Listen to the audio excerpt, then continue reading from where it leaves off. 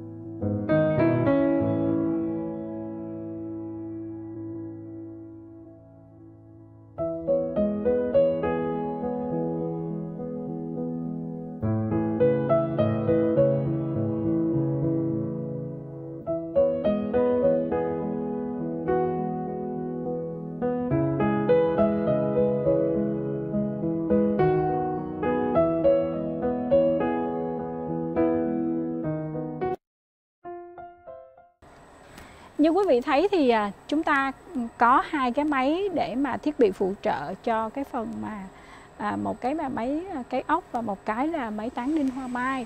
Thì à, à, phía trong nè à, phía dưới của cái chân sofa thì nằm ở phía dưới còn này nó nằm trong cái ram của cái khung của sofa. À, đó là một vài thông tin và thượng nguyên muốn chia sẻ đến quý vị để cho quý vị biết là chúng ta khi sản xuất một cái nội thất thì chúng ta không thể thiếu những cái thiết bị phụ trợ như thế này. À, và một lần nữa thay mặt cho ban giám đốc và anh chị em Thượng Nguyên, cảm ơn quý vị đã đồng hành và hẹn gặp lại quý vị vào video sau. Cảm ơn quý vị.